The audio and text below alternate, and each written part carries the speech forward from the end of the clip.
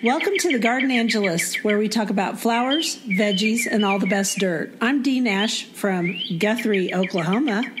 And I'm Carol Michel from Indianapolis, Indiana. Dee, I'd like to start with a little thought for our opening this time. I like it. Go for it. Is there a better month in the garden than May when the skies are blue, the garden is lush, and there are flowers blooming in every color imaginable? The promises of the season have yet to be broken, and optimism reigns. Man, that sounds like something you'd see in a book. Well, it's something I wrote. Maybe it'll show up in a book someday. I like it. It's true. Thank you. Is there a prettier month than May? I don't think so. I don't think so either. So, speaking of pretty, guess what's blooming today in my garden? I don't know. Tell me. I have some clematis that are blooming, and that happens to be our flower this week. It is our flower this week, and it's a member of your favorite family. Can I say it? Of course. Ranunculaceae. I don't know if I could say it if I tried. Ranunculaceae. I used to think this this is the buttercup family. And when I was in college, I used to think that it was a boring old family because I didn't know much about it. And it's my favorite plant family now. Yes, everyone knows. Everyone knows how Yes. much you like it. so, clematis Or clematis. or clematis, depending on where you're from. Do you say clematis or clematis? I say clematis, I think. Me too. But I think a, a lot of our friends on the East Coast say clematis. Yeah, peony, peony. Who cares? All right, so back in the day, there were just big vine clematis that you could buy locally. Like Jack is one of them. And I still like Jack. But now you can find clematis in almost every shape and size. Large flowering clematis that vine. You can find the small flowering clematis that vine. You can find bush clematis. And you can find short vines and you can find long vines. And you can find bell shaped flowers and wide open flowers. There's something for everybody in the clematis genus. But I think there's no plant that causes more consternation and confusion than trying to grow clematis. There's a lot of information out there about it, and it's a little bit like compost information. It's so much that it's hard. You see what I'm saying? It is. And people get very confused because people tend to classify all the clematis into different groups that have different pruning requirements. And Yes. that just kind of freaks people out that they're going to make a mistake. I remember when I first started really getting serious about gardening with roses, that was probably, oh gosh, 40, almost 40 years ago. And clematis were making a surge. It seems like every 15 years, clematis become a thing again, you know, like they become in fashion. And they were in fashion back then. And I used to read over magazines and books and try to figure out how do I plant them? How do I make them grow? What makes them happy? Remember, they used to say, plant them so that their roots are in the shade and their vines can reach the sun, right? That was one of the things that they told us. Right. Well, that used to freak me out because I couldn't figure out how you could get the roots in the shade as a as a new young gardener. But now I just know I mulch them. They're in the shade. Yeah, you just mulch them. They just don't want to get all dried out. Right. They like moisture. So my advice is plant them somewhere where they're going to be, you know, in a sunny area, but it doesn't have to be full sun because some of them will grow really well in partial shade, especially my little bush type clematis. It grows really well in partial shade. But for the vining ones, I like to grow them at the base of um, roses, for example, a classic combination. Yes, because the rose acts as the trellis for the clematis, and the clematis just kind of climbs up through it and takes over. Yes, it does. And I have one that's really pretty that climbs in my Carefree Beauty Rose, and it's Pope John Paul II. Oh, that sounds nice. It is. It's really pretty. I have a fairly large one that's got beautiful white flowers, and I had it climbing up through a bayberry shrub. And I, this spring, the bayberry just sort of half leafed out, I thought, "Ah, I'm tired of it. So I cut it way back, and there's that poor clematis laying on the ground. So I grabbed a, a wrought iron chair and set it down for it to sort of sit on until something else grows in its place for it to vine up.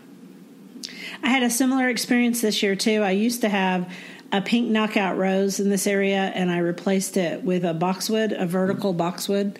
And um, clematis aren't going to grow well on a boxwood. So I looked, I found one. It's one of my best ones too. I think it's Queen of Holland. Anyway, I was looking at it and I felt kind of bad for it, so I stretched it out onto a fence, and it's doing fine. But you know, at least it's doing fine until this weather blows through Oklahoma. It might not be here anymore after that. Yeah, let's pause for a minute because you are going to get some terrible weather blow through. Supposedly, we are. They uh, have sent out a warning for today, a warning that you don't see. I think I've only seen it twice before in my lifetime, and both times that they did this, it was a bad day. And they're saying it's going to start this afternoon, about the time we finish this podcast and uh, recording it, and then it's going to go on until at least 10 p.m. tonight. So nighttime tornadoes, which are the worst, but They are. So, in terms of clematis vine, one of the things is if they don't have a good support, um, they're a vine and they'll scramble through the garden and they'll they'll try to find something to grow up. And and sometimes mine sort of miss the trellis a little bit, and so I have to use string or even fishing line to kind of train it to go back to where I need it to go. Huh, I've never done that. Um, I use like chicken wire fencing. There's some that's got a coating on it that's green, so it doesn't really show up. And so, like on my split rail fence, I have a piece of that that I bent around the two top rails. I have a three rail split rail fence around my part, one part of my garden. I do that there, and then I also shape it around my crepe myrtle trees because I'm growing jackmanii in my pink crepe myrtles so that you get purple and pink. Oh, that's nice. I have uh, sweet summer love that grows on serviceberry trees, and so it's it kind of disappears in all the foliage, and then midsummer I look up and there's clematis blooms like 15 feet up in the air. yeah, same with these. Sweet Summer Love is one of the most popular clematis. It sold out last year. I couldn't find it anywhere, so I right. still don't have it. But I don't know where I'd put it anyway. I have a lot of clematis in my garden, and I shall we talk real quickly about when do you cut them back and the three different pruning groups and at what we actually do. well, yeah, you tell us the three pruning groups, and then we'll tell um, everybody what we do to make things simple.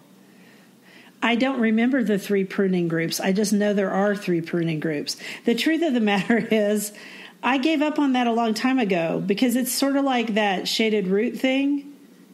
It's much simpler than that in my garden and yours. It is. What I do in the spring before it really gets to start leafing out, I just cut them all back to about a foot tall and throw the old vines away.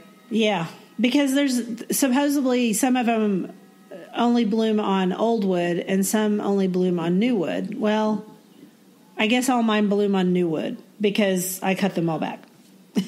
right. Well, what happens, I think, is the ones that bloom on quote unquote old wood, um, by cutting them back in the spring, you're basically de- delaying the bloom until later in the summer until that wood gets a chance to harden off a little bit. So you'll still get blooms. You'll just get them later in the season. Right. It's not like those old fashioned mop head hydrangeas that you cut back right. and you just don't get any blooms at all. So so here's the deal we just cut ours back and i just don't worry about it and one thing i did learn from watching a show a long time ago and it might be the same lady in ohio that's the clematis amazing clematis lady that you're going to talk about yes um, it might have been a show on her because this lady was from Ohio and she had a ton of clematis. What she did is she would cut them at different heights to get flowers at different heights. Yeah, you can do that. Her name is Deborah Hardwick, and she is on Facebook. You can find her, and also she's the the clematis guru on Twitter. And I've heard her speak twice, and the thing she says is people think that the clematis is this very mysterious, very difficult plant, all those instructions. And she says, remember, it's a perennial, and you're used to dealing with perennial flowers in your garden. And so just treat it like a perennial flower in your garden, and it'll be fine. Exactly. I just treat them like any other plant in my garden. The one thing I do help them with is I make sure that I put back to nature on them every year, which is my it's kind of a mulch, kind of an additive, and it has some good um, some good nitrogen in it, and some other stuff because it's made with cottonseed hulls and also manure. And it really does help them. And I also have the ones that are planted beneath the roses. Well, they get fed the same thing the roses get, which is that rose that Mills rose magic. And so they do appreciate a good feeding. I have noticed that. Right. And I think they also appreciate very good draining soil. They don't like to be in heavy clay. No, they don't like clay at all. So if you have clay, Oklahoma people, I don't know, do Indiana people have clay? We have tons of clay. Oh, okay. Well, Indiana and Oklahoma people and anybody else in the world that has tons of clay, don't put your clematis there. Put them in a raised bed. All of mine are kind of in raised soil, except for the ones in the lower garden. But it's really good draining soil because I live in a part that has pockets of clay, but mostly I have red, red sandy soil. Good advice. So let's talk a little. So everybody thinks about the clematis vines and they have the big open flowers but some of my favorite clematis are the bush types, which is Clematis integrifolia. And yes. There's a very beautiful blue flower one, and there's also I have one called Alba, which is a white flower, and it has a, a bell-shaped flower. Mm-hmm. More so than the big open flower. Now, are these the bush type ones with the bell flowers, or the ones that grow as vines with the bell flowers? because no these these are the bush type that's right and then the ones aren't the ones that grow and i'm just i'm pulling this out of nowhere so i may not be saying this right but i know one of them is uh, texensis there's a texensis that's got a bell-shaped flower um, that's a vine right is that right? Is yes, it a vine? Yeah, that's correct. Because I have both. I have one that's a bell-shaped flower that grows as a vine, and then I have that Montana clematis that has a bell shaped flower that's more of a bush type.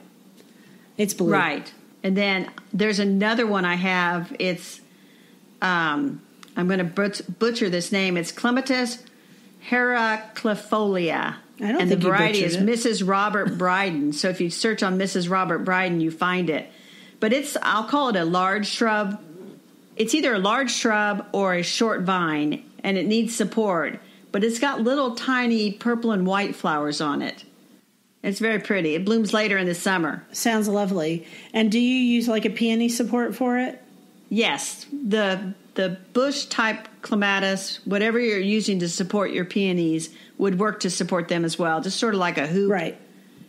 So I have this friend up in Tulsa. I have a quick little story about that, about supports. I have this friend up in Tulsa. Hi, Beth. Beth Teals. I think she listens to us. And Beth actually goes to places like Goodwill and she buys lampshades and then she pulls all the stuff, you know, the fabric off the lampshade. And think about it, it uh-huh. becomes a peony support. She turns them upside right. down, you know, so the smaller part is at the bottom, right next to the soil, and the bigger part is at the top. And they make very effective peony, clematis, whatever needs support, because there's a whole lot of things that we grow that really can use some support and it's cheap. Right. And if you didn't like the metal, you could just spray paint it green. It would just disappear into the garden. Exactly. No one would notice it. I think that's pretty cool. Right. Then that's the way to, to have support in the garden. You don't want a bunch of stakes all sticking up funny and Yeah, if you can help it. Now, sometimes with my big lilies, I have to use rebar and then I have to tie them up to the rebar because they're just so heavy. But um, since I now have this creature in my garden that's been stomping around, we don't know what it is. I'm going to have to put out a critter cam. Um, but I'm guessing it's a deer. And it doesn't seem to be eating anything, but I think my dog is chasing it through the garden. And so, yeah, I've lost some lilies and some other stuff. So I won't have to have any support at all before long. Dee, you're going to put up a critter cam? Maybe it's Bigfoot. I doubt it, but maybe. You know, we're supposed to have a native Bigfoot in Oklahoma. Did you know that? Well, this is this is exciting. I can't wait for you to put up the camera and tell me what you see. It's a foggy bottom monster. That's what the one that's called. That's the Bigfoot in our state. Anyway, so well, back to clematis. That's going to be interesting. well, so there is a clematis um, that can be a problem, and that's sweet autumn yeah. clematis, clematis ternifolia. It is from Yeah. Japan and it is invasive, and people should not plant it. Right, because I still see it for sale occasionally. And every August, when it blooms all over town, people think it's beautiful. But here's the deal it ought to be called Clematis terribifolia because it's just one of the worst plants ever. And it's invasive almost everywhere. And it's hard to get out. And it reseeds in my garden. And I hate it. I hate it with a passion. But Dee, it smells so good. But Carol, it's horrible and it also attracts wasps. They're the ones that pollinate it. Not that they'll hurt you, but they're kind of a nuisance when they're all over it in your garden. Right. And then there's another fall blooming clematis, Clematis virginiana, which also has long vines. It is native to the United States, and um, we would call it aggressive, and it's probably not a good choice for most gardens. Right, it should live where it lives normally. But it is a native and so it's not considered invasive. It's aggressive, which we will talk about that later in our dirt. We will. So, two other things I want to say about clematis. Okay? Uh, I want to tell you my two favorite varieties, which are purple blooms, and they are Rooguchi and Pagoda. And Rooguchi has more of the bell shape, and Pagoda has it's a bell, but the the, the petals are twisted, Yes. so it's really pretty. I have one that looks like that too. That has the they look like a bell, but it kind of has a little twist. It's real pretty. My Queen of Holland Yes. does that. It's not exactly a bell, but it opens up with a twist, I would say, and it's small, a small flowered one. That's one of my favorites too. I also like Huvi, H U V I, and it's part of that Polish group of clematis. There was a Polish breeder who came out with a lot of improvements to clematis, and one of the improvements was that these don't get clematis wilt. Clematis wilt used to be a real problem with earlier cultivars. It was a problem, and your your plant would look really healthy, and then one day you'd go out and it would be wilted. And I still get a lot of calls about those because people have jack Jackmanii like I do, and jack Jackmanii is very prone to the wilt. And so if you get that, you just chop it all the way down to the ground, say goodbye to it for that year because it's black anyway, and then you just throw that in the trash and take it away. Do not put it in your compost pile. You call it jack Jackmanii. I call it jack Jackmanii. I don't have that one. You don't? Nope. Well, it's a really pretty dark purple. Has a smaller flower than like Huvi, one of the big flowered ones. Um, but it's it's a really exquisite shade of purple. I think that's why people still grow it. Yeah, it is, and um, it's it's worth growing. Yeah, but not as flu- not as floriferous as some of the other ones, though. You know. Oh no. If you want to see some really pretty clematis, there is an online nursery site called Brushwood Nursery, and they have tons of beautiful, beautiful clematis. And you can browse their site, and I guarantee as soon as you see one you fall in love with, it's probably sold out. So you got to shop early. That's the truth. You want to hear another little trivia about clematis? Sure. well, it's not really trivia.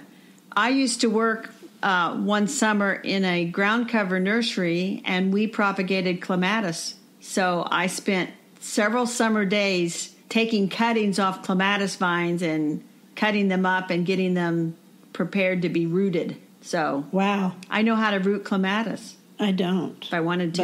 But good on you. it's it's really Is it easy? Okay. It's easy. I rooted a rose once. That wasn't so easy. Takes a little more work. No.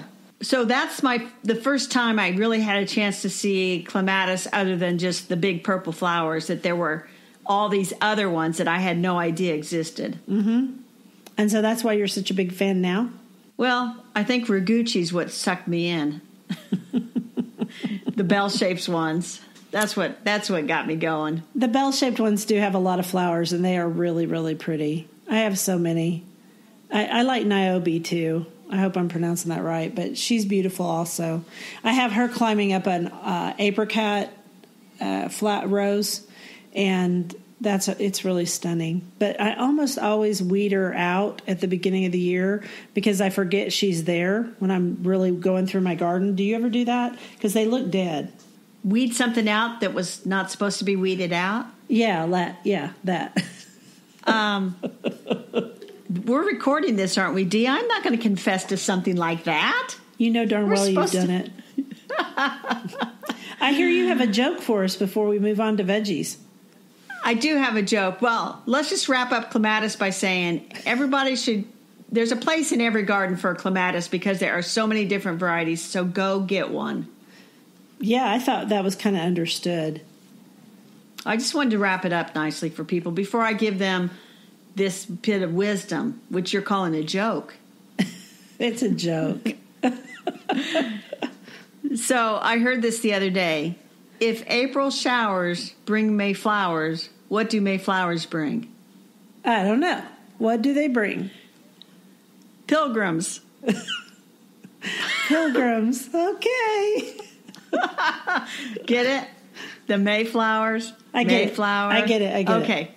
I wanted to make sure. I was laughing. Give people. Okay. All right. So in May, we were talking about the differences in timing in our gardens. So for vegetables, we wanted to talk about people who are, let's call them procrastinators. Okay. and they haven't quite got everything planted and memorial day rolls around which is coming up this weekend is it memorial day weekend this weekend i think it is Yes, it is. I think um, i heard there's a race in town here what's it called the indy 500 I think so. If only you had Jim Nabors to sing the song. oh yeah did i ever tell you when summer officially begins in indiana I believe you have, but not everybody else knows. so summer in indiana officially begins the moment they sing back home again in indiana to start the indianapolis 500 race All righty. Fire up the barbecue, get out the kiddie pool. It's summertime in Indiana. Coming right up. Well, you know, it's Memorial Day this weekend, so I'll say that that's the official start. Well, you could say tornado season is the official start to summertime in Oklahoma. But anyway, yeah, uh, Memorial Day. So let's talk about people who haven't started their vegetable gardens yet.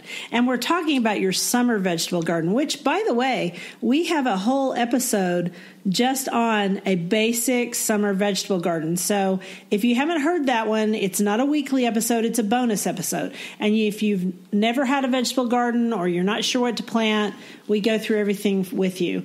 But if you haven't started your vegetable garden yet, it's too late to plant peas and radishes and turnips And lettuce. and spring onions. Those It's that's too late all, for lettuce, too. and spinach. Those are all done now. So you you can just breathe a sigh of relief. Don't be upset. Just breathe a sigh of relief and go, "Whew, I didn't have to plant those. I can just move on to the summer crops." But you need to get with it if you're in Oklahoma. But if you're in Indiana, you got more time. In Indiana, and especially since it's been a cool spring, we still got a couple of weeks. Now, I target to actually plant my summer vegetables Memorial Day weekend. So I'm right on schedule for green beans and tomatoes and peppers and corn. But if it got into June and I hadn't planted, I would still plant those things. It's not too late in Indiana. Yeah, and I try to get everything in by June 6th, except that you can plant succession plantings of certain vegetables like squash. You might want to plant squash later, for example, because there's some thought that if you plant squash later, summer squash, you don't get squash bugs as it bad. Now, I'll be honest, in my garden, you could plant squash bugs in Dece- squash in December, and squash bugs would find them if they were above ground. But I hear that that's a good thing. And but as far as like green beans, you're going to plant successive rows of those anyway. So if you don't make it by June 6th or June 15th, don't worry about it. Just go on and plant them. Same with corn. Corn likes warm soil. And we have been really cold this spring. As we have been. I heard there's going to be snow in like Denver this week or something. Well, you scared me. You, I- I, thought you were going to say Indianapolis, and I'm like, we don't have that in our forecast. Oh my gosh, don't do that to me. Stop. No, no, no. I think this cold front that's coming down and causing the weather havoc in my state has either been through Colorado and dumped some snow or something like that. So, what I'm trying to say is we have been cold throughout the United States unless you live in the far south. Right. So, and one other one other vegetable that really likes warm and uh, soil and is the very last thing I plant if I decide to plant it because it's a huge, big vine, and that's pumpkins. Right, and you want your pumpkins to mature by October or September for your, de- you know, depends on if you want to use them for decor or what you're using them for. So if you're going to plant them, you're going to plant them much later anyway. And I would say melons too, all melons. They are kind Yes. of, yeah, melons and squash And okra. and okra. Yeah. So See? you got time. Yeah. So procrastinators out there who think, well, I I skirted by, it's too late now, I don't have to plant a vegetable garden. No, get out of your chair, get out to your garden, listen to our podcast about the basic vegetable garden, and go out there and plant anyway. Yeah, go for it. And oh, one more thing we wanted to be sure and tell you if you're going to start really late, buy the biggest plants you can find of tomatoes and peppers. And I would suggest that if they have fruit on them, I would pull it off. Would you pull it off or would you leave it on there to ripen? I would I would pull it off. Yeah, because you want the plant to put some energy into its root system. And if it's trying to mature a fruit, it isn't going to put as much into its root system. So don't buy the tomato with full tomatoes all over it and then, you know, because that may be all the tomatoes you get. Right. That's good advice, Dee. Thanks. You want to talk about the dirt? Our dirt this week takes us back to the sweet autumn clematis. It's about garden thugs or all the plants we've planted so you don't have to. Right. And it so the definition, you want to give the definition of aggressive versus invasive? So, a plant is considered invasive if it's readily able to spread into natural areas and poses a threat to disrupting the ecosystems there. And that information comes from the Illinois Extension Service. And I think of invasives as plants that came in from other countries, other continents. Right, because you can have native plants that are very aggressive in your garden, but they are not I mean, they're just not invasive. Invasive plants take over areas that would normally have um, would normally have native plants in them. And a good example of that in the state of Oklahoma is Juniperus virginiana, which is actually native to Virginia, hence the name Virginiana, but it was brought here in Oklahoma as a fence row, and there's some thought that it's been here a long time, but all, in the last I'd say 50 years, it has become extremely invasive in Oklahoma because we don't burn off whole sections of the state on purpose every year. When Native Americans were living here, especially the Plains tribes, and they still live here, but they don't, they don't, you know, they aren't nomads like they were in the past. Anyway, when they were when they were leading nomadic lives and they were hunting buffalo or bison, they would burn off areas of the prairie and now people have houses on those areas that they live in full time so you don't want to have that happen. Right, and so the the um, Juniperus virginiana just continues to grow and grow and grow and spread itself all over the state because it doesn't burn it out. and suck up 50 gallons of water. Right it doesn't burn it out. I didn't explain that very well. Well, but here in Indiana, we have um, the Japanese honeysuckle is very invasive in our wooded Ugh. lots, and I tell people. They're like, well, what does it look like? And I say, if you drive around in the fall after the leaves have dropped, you'll see all this low shrubby stuff in the woods that's green. All that is Japanese honeysuckle, and it is horrible, horrible, horrible. And so we want to try to get rid of that and anytime we can. And there's some areas where they ask people to come and help volunteer and they try to they try to dig it out. They have special tools that kind of um, act as almost like jackhammers to try to pull them out. And and they will um, oftentimes cut them and then put brush killer on the stumps to try to get rid of them in their natural areas. And and um, I've seen pictures of before and after. Um, and before, with the areas just full of Japanese honeysuckle, and then they clear it out, and then that next spring, suddenly all these wildflowers, native wildflowers, have a chance again, and they they return to the area, so to speak. They they have a chance.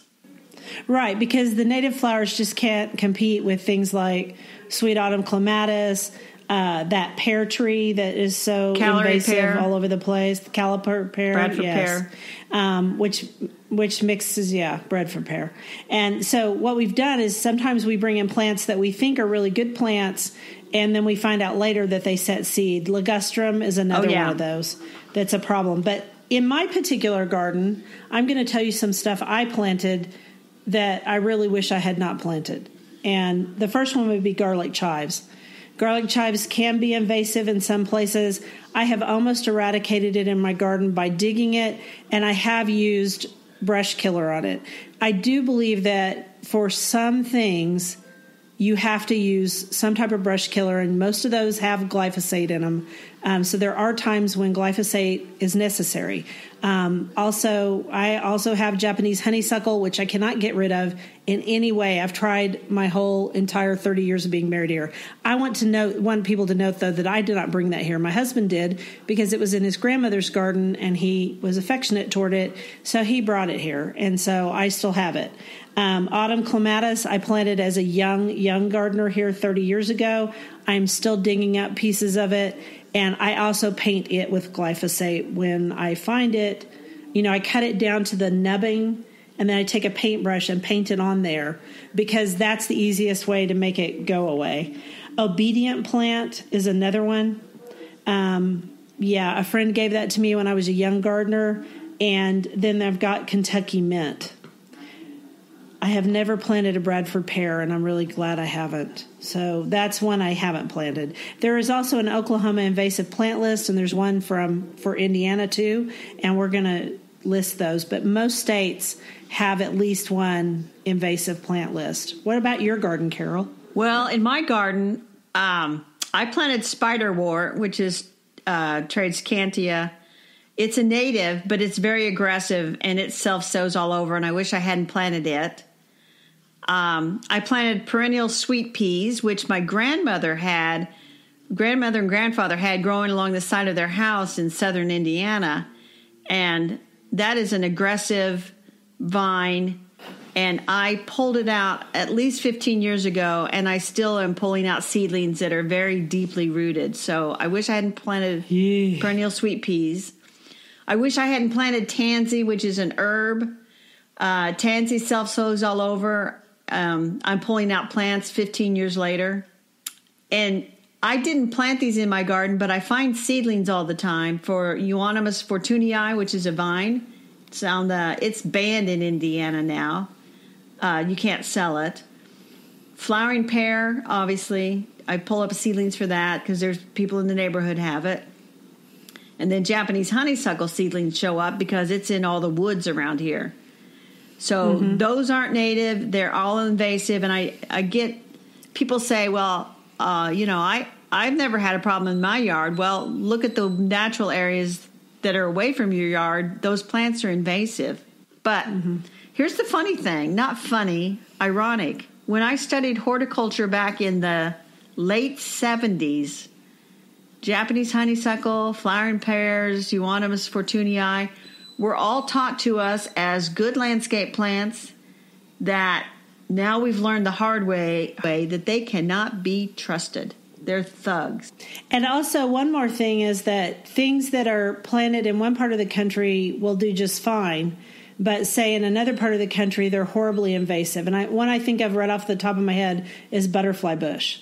I was thinking the same one. Butterfly bush in in the middle part of the United States is not invasive. It's not invasive in Oklahoma or anywhere or anywhere that I know of in the middle part of the United States. However, in the West, um, in Oregon, Washington, California, it's a nightmare. And people, so people will see a plant in like I'll have visitors from out of state. They will come here and visit me, and they'll be like, "Oh my gosh, you have a butterfly bush," and I'm like, "Yes, because it's not invasive here." And there are a lot of plants like that in my garden. There's not very much that's invasive in Oklahoma. The running joke is it's hard enough to get stuff to grow Right. here, period, um, because we have such severe weather changes. But there are a few things, and then there are other things that are aggressive. And one that I can think of because I'm looking at it right now out my kitchen window is Monarda. Monarda is a very aggressive plant in my garden, um, but it's beautiful. Bees love it, but it is not invasive. So a lot of times when people come through, they'll say things like that. Something even Oklahomans will say, "Oh, that's invasive in my garden." Rudbeckia is another one, not the Fulgida, the other Rudbeckia, um, the perennial one, the reliably perennial one in Oklahoma. It is. Um, it is very aggressive in my garden, especially if it's a wet year like this year. I cannot keep ahead of the black eyed Susans. Right. And aggressive sometimes, depending on how big your garden is and how you want it to fill in. Aggressive may not be bad if it's easy to pull out the seedlings and kind of contain it. But invasive, invasive Right. is just simply not a good thing. That that's a horrible thing to end up in a garden with invasive plants. And the problem is, is they don't just stay in your garden, like you said before. They go in everybody else's garden. So now that we've shared that all the aggressive and invasive plants that we can think of right off the top of our heads, you don't have to grow them. So my advice is, do not put garlic chives in your garden in Oklahoma. You'll be digging them out for the next thirty years. That's just one example. Right. And so there's there's a sort of a tip off if somebody hands you a start of a plant and says, "I have so much of this in my garden. Will you take some?" That's a red flag that says, "Hmm, why do they have so much in their garden?" And so you'll say, if it's it might be a native plant so it might be just aggressive and then you think well aggressive might be okay it could be an invasive and then you can help educate them but Or or if you have a lot of something in your garden and think, geez, I have a lot of black eyed Susans, I should give these away. You you have put up your hand right now and take an oath as a gardener that you will never thrust upon another gardener a plant that's aggressive without fully disclosing what it could do. Yeah, I always tell people because I've got some great spreading mums and some wonderful asters, and people want pieces of it, and I'm like, yes, you can have a piece, but I'm just going to tell you up front, it is they are aggressive plants. They want to be the only plant in the garden. And um, they don't always believe me, but then sometimes years later they come back and they go, "Oh my gosh, those Sheffield mums!" And I'm like, "I know, I told you." So I try my best not to do it to people. But what I was thinking of and what I was laughing about was well, the part where you said educate them. I thought to myself, just run away like mint. The running joke is give a new gardener mint, and they will think they're the best gardener in the world, but they will curse you later. Yeah, because they'll have mint everywhere and they think, my thumb is green. Look at all the mint I've grown. Yeah, and I felt, and a friend gave me obedient plant, which in my garden is a nightmare. I know in some people's gardens it does great, um, and it's just a wonderful plant. But here, I guess my garden's too damp, and the soil is heavy enough that it just it's happy with those lateral stems. By the way, that's another educational thing. Anything with a square stem is in the mint family, so it's going to spread, and that includes some salvias. Yes. All right, so now we got everybody afraid to plant everything in their garden or anything in their garden. Oh no, I hope not. No, we haven't. But we've hopefully given people something to think about in terms of invasives and aggressives. And always, always, always check the invasive plant list before you buy something that you don't know much about. In Indiana, we do have some new rules that make it illegal to sell certain invasive plants, but not all invasive plants are illegal to sell. So buyer beware. Educate yourself. So, do you have us have another gardening quote for us Do I have another about May? Do I have another quote about May? Uh, I can make one up. Okay, make one up. Okay, so this is a quote that I tell people this is why my blog is called May Dreams Gardens. You ready? I'm ready. All year I dream of the days of May when the sky is blue, the grass is green, the sun is warm, and the garden is all new again. May Dreams Gardens. Ooh, I like it. Well, thank you. I think that's that's. See, we ended on a happy note. We did. And so let's happily tell people that they can find us on Instagram, they can find us on Facebook, they can find us on Twitter where we are the, we are the Gardenangelist. They can email us at thegardenangelist at gmail.com. We've gotten a few emails. We love to answer questions for people and help out however we can. Yes, we do. This week we answered a question about blueberries. Right. About how to grow blueberries in pots. So feel free to to contact us at any of those places and next week we will tell you how we met because we had another listener ask us how we met. We'll do that. Okay. So if you like us on iTunes, we also would love a review, five stars, of course. And with that, Dee, I've got to get back out to the garden because, unlike Oklahoma, the weather is good here. Well, it looks beautiful here too. It's just a little cloudy, but the air is kind of heavy. So we'll see how things go. It was great chatting with you over the garden gate. And great chatting with you as well. Bye, Dee. Bye.